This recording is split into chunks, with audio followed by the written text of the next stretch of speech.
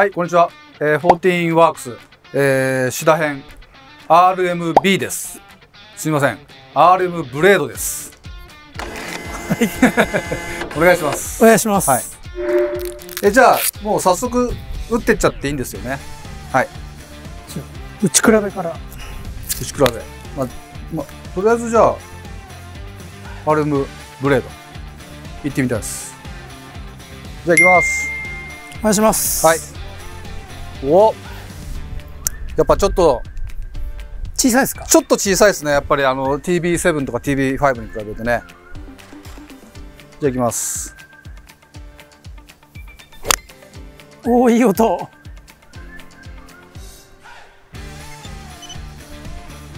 うん。おーキャリー150のトータル166。はい。なるほど。まあまあまあ。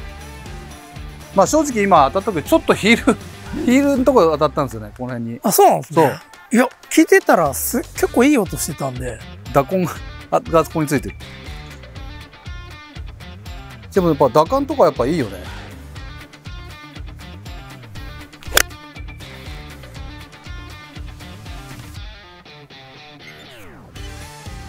うん、確かにちゃんと当たっ確かに。た。当たったでしょ？全然違う。そうでしょ？あキャリー162、はい。トータル174。はい。いやいや。申し分ないね。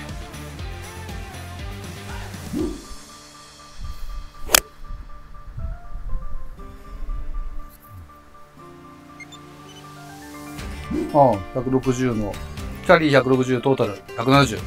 はい。スピンが5300。はい。問題は問題ないです。はいあとは、打った感覚が一番、こう、やっぱ小さいから、やっぱシャープに触れるんで、その辺の操作性はやっぱ抜群にいいね。うん。打感とかも、やっぱり CB7 とか TB5 に比べると、もっとちょっと厚みがある感じ。はい。で手応えがちょっと、やっぱ、もっとあるね。軟鉄三蔵の柔らかさみたいのが、はいはもっとある。うん。その辺はすごく違うかな。ただやっぱ構えた時にちょっと小さいから、はい。まあその辺の視覚から来る難しさみたいのは、確かにやっぱ、あの TB7、TB5 に比べるとある。うん。実際実際打ってそれとイコールなのか、優い。しいのか。今3球打って、もうやっぱり、芯にそんなに実は当たってないんだよ。自分の中で。はい。だから、いで、でも、飛距離もしっかり出出てるし、あ、意外と、まっすぐちゃんと飛ぶなっていうのがうん感想、素直な。うん。正直当たってるとこも、まあまあ、最初はここだし、次はまあそこそこ真ん中、この辺にちゃんと当たってたんだけど、最後に打ったのが、ちょっと先っぽめにこの辺に当たってるから、なるほど。まあ、です、あの、今のはい。数数字になってるんで。そこまで球的にはばらけてないですね。そう。方向もそんなばらけてないし、はい。すっごい飛ぶとか飛ばないとかもあんまないし。やっぱりその当たりどころでやっぱりこうちゃんと距離の差が出てるのかなっていうのはありますね。そうだね。まあ、あとはこの黒。黒はやっぱり、ああ。黒、でももっと、黒だからもっとちっちゃく見えるのかなと思ったけど、まあまあまあ、そんなに違和感はないね。そのシャンパンゴールドの方と比べて、もっとすごい小さく見えるのかなと思ったけど、はい。まあ、そんなでもない。あと、黒の方は、ここのマスキングラインがあんまり差がないじゃん。はい。だから、こう、なんつうんだろう、ぴっちりラインが出るというよりかは、ぼんやり全体がこう見えるみたいな。はいそういうのが見える。逆に言うと、シャンパンゴールドの方は、ここマスキングラインがきっちりしてるから、はいその、その狭さっていうのが、こう、強より強く感じる。その、なんかその構えた感じはちょっとあるかな。そうですね。まあその辺はまあ好好好みだみですかね。ね。うん、好みだね。だ全体的にぼやっと構えたいんなら、このブラックの方もはい。いいんじゃないかなと思う。じゃあ、同じロフトで、えー同じロフトの、えー TB7 で次ちょっと打ってみたいと思います。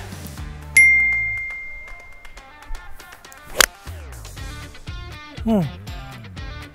ナイスショー。うん。キャリー162、トータル176.2。まあ、スピンも4740。そうですね。あれ、ブレードの2球目と似たような。ほとんど同じだね。はうん。だから、い。やっぱこう、打った感覚の違いがどう、どんな、そこが多分一番知りたいところだと思うんですよね。ちょっともう一球打っていい？はい。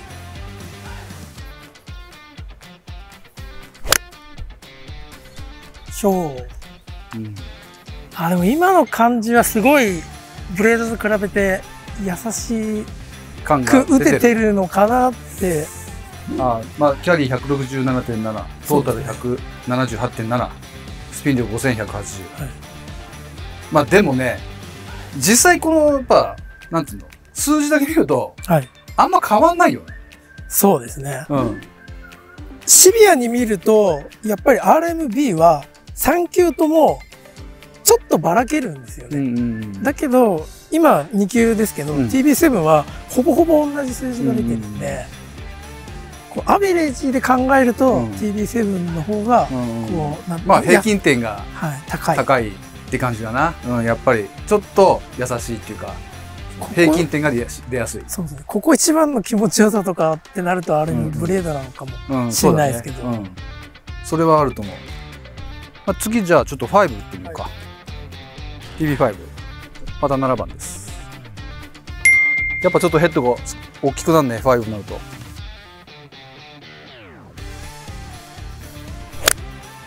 おー音が全然違う。違う。数字は、ほぼほぼ一緒だね。一緒です。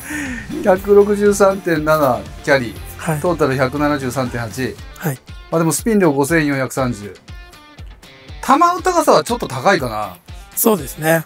うん。あの、多分、シャフトの違いが一番でかいのかな。あの、うん多分、ちょっと言ってなかったんですけど、RMB、RM ブレードはうん DGS200 で、で、TB7 の方は、まあ、ダイナミックゴールそう、ダイナミックゴールドの、まあ、ミッド。ド。うん。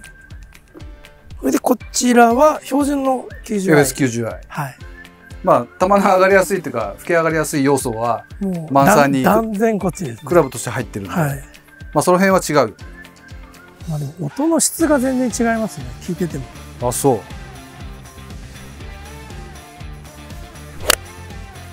あ、でもまたちょっと違いますね。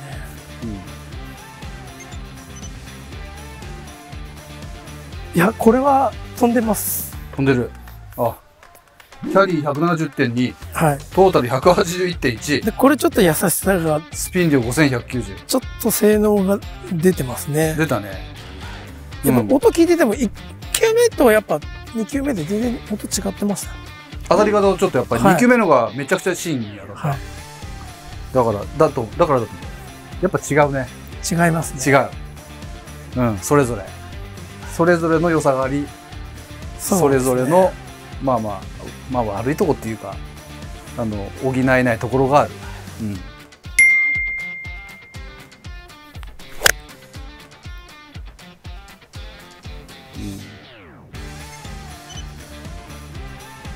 数字はほぼほぼ一緒です。いや、悪くないよ。はい。悪くない。ほぼほぼ一緒ですね。いい感じだと思うよ。はい。キャリーが167.9、トータル178.8。うん、ごそうだね。いや、俺は、なんか、やっぱりシャープに打てるし、はい。手応えがあって、すごくいいよ。ちなみにこれ、黒沢さん、打つとどうなるの？え打ってみるー、打つ前に考えると、普通に考えると打てないですね。まあ、しターゲットっていうか、はいそのね、あれからすると。ヘッドスピードがちょっと足らないってうんいう、あの、試しに、打ってみてよ。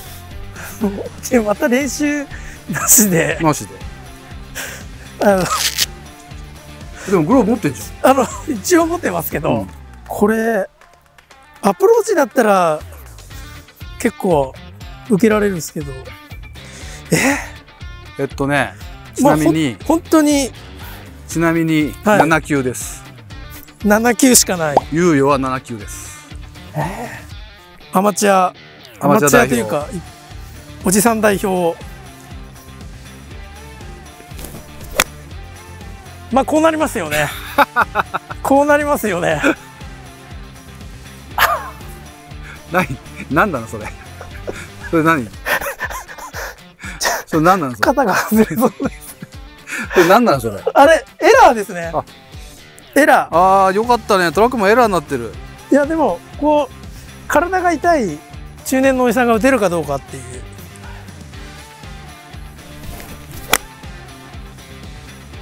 うん、ちょっと、あとねちょっと左つま先下がりじゃんちょっとだけそうですね。全うんだから然クラブが落ち降りてない。うんみ少し右行きやすいよね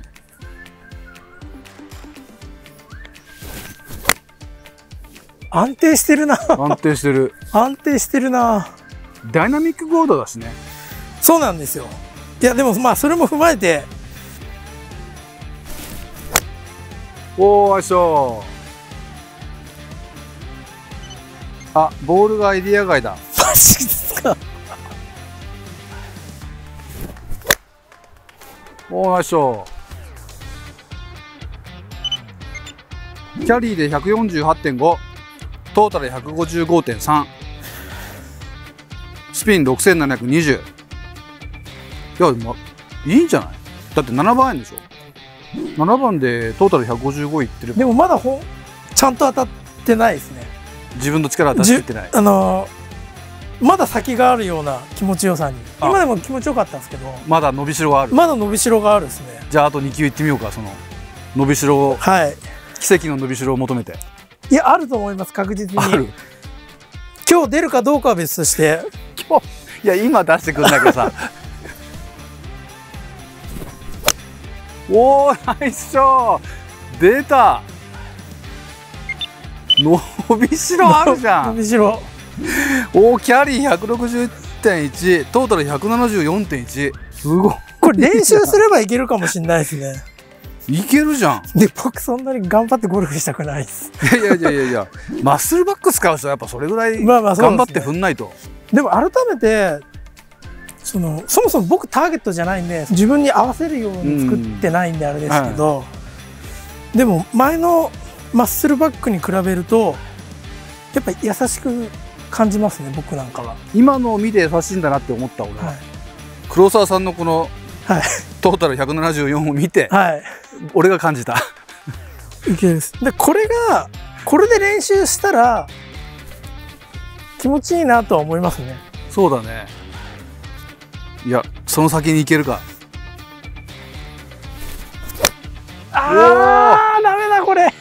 まあまあ最後、こすっちゃいました。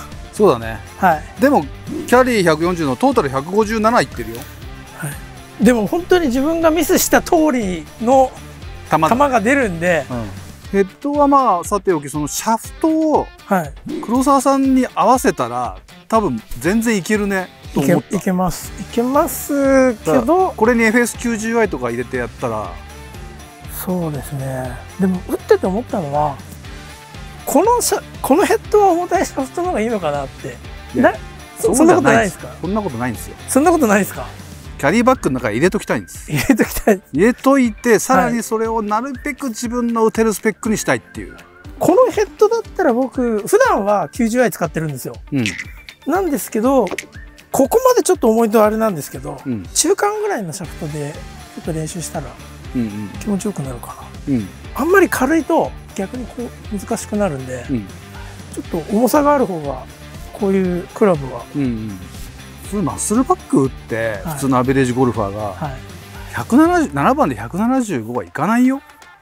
ありがとうございます。ともう。いやそれはありがとうございますっていうかクラブなんだけどね。はい。ヘッドの性能なんだけど あ、そうなんですね。そう黒沢さんは別に変わってないんだけどそうそうなんですね。ヘッドが進化してるっていうことなんだけど、ちなみに今日は初めて保ちましたかそうだよね、ら。はい。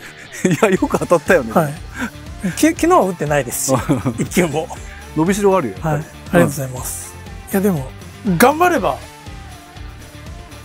楽しいゴルフもできる。いやいけそうだよね、はいうん面白いと思ういやいやいいもの見させていただきましたよ 本当あのにい、放送されるかどうかは分かんないですけど、や放送するでしょ頑張りました。